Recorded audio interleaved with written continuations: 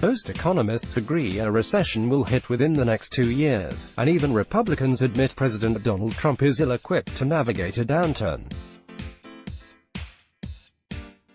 The U.S. Manufacturing sector contracted for the first time in more than three years, another worrying signal as the global economy struggles under the weight of Trump's trade war with China, reported Politico. Advertisement The president and his current economic advisers insist Trump is winning the trade war and argue the only danger of a recession comes from media reports on the warning signs of a slowdown. The trade war with China is like following the bouncing ball. It changes one week to the next, said Stephen Moore, an informal economic advisor to the White House. My attitude is, once he gets the trade deal done, he is home free politically. You cannot understate the importance of it. But one former senior White House official warned the president is getting bad advice, and lacks an understanding of the impact his trade war is already having on farmers and manufacturing. Frankly, I don't think he really understands any of this, the former official told Politico. the manufacturing slowdown, the lack of corporate investment, what's happening to confidence, all of this was totally predictable based on what he's done. But he sees it as a political advantage, that he can tell people he got tough on China and needs to finish the job. Advertisement That official doesn't see things getting better, because Trump isn't going to hear any bad news from his advisors or on Fox News. The sad reality is that in the first 1,000 days of his presidency he managed to get rid of everybody who would tell him the truth or anything he didn't want to hear, that former senior official said. An economic slowdown would be disastrous for Trump's chances for winning re-election, but one former Republican aide lacks confidence that the White House can turn things around. Advertisement The state of the economy is the single biggest factor in determining whether the president is re-elected, said Michael Steel, a former top aide to GOP House Speaker John Boehner, and right now, it feels like they're riding a rubber ducky into alligator-infested waters. Enjoy this piece. Then let us make a small request. Like you, we here at Raw Story believe in the power of progressive journalism, and we're investing in investigative reporting as other publications give it the axe. Raw Story readers power David E. K. Johnston's DCReport, which we've expanded to keep watch in Washington. We've exposed billionaire tax evasion and uncovered White House efforts to poison our water. We've revealed financial scams that prey on veterans, and legal efforts to harm workers exploited by abusive bosses.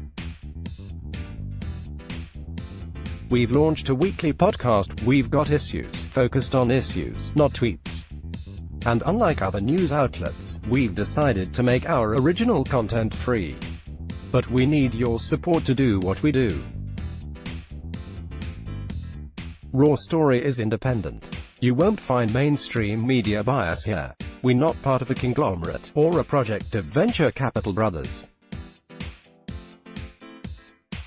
From unflinching coverage of racism, to revealing efforts to erode our rights, Raw Story will continue to expose hypocrisy and harm.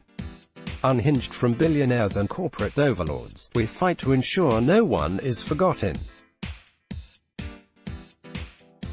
We need your support to keep producing quality journalism and deepen our investigative reporting. Every reader contribution, whatever the amount, makes a tremendous difference. Invest with us in the future. Make a one-time contribution to Raw Story Investigates, or click here to become a subscriber. Thank you. Click to donate by check. Enjoy this piece, then let us make a small request. Like you, we here at Raw Story believe in the power of progressive journalism, and we're investing in investigative reporting as other publications give it the axe. Raw Story readers power David E. K. Johnston's DCReport, which we've expanded to keep watch in Washington. We've exposed billionaire tax evasion and uncovered White House efforts to poison our water. We've revealed financial scams that prey on veterans, and efforts to harm workers exploited by abusive bosses.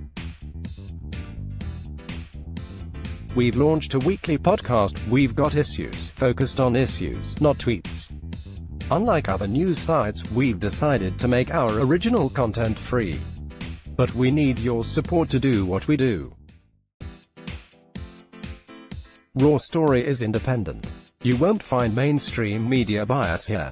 We're not part of a conglomerate, or a project of venture capital brothers. From unflinching coverage of racism, to revealing efforts to erode our rights, Raw Story will continue to expose hypocrisy and harm. Unhinged from corporate overlords, we fight to ensure no one is forgotten.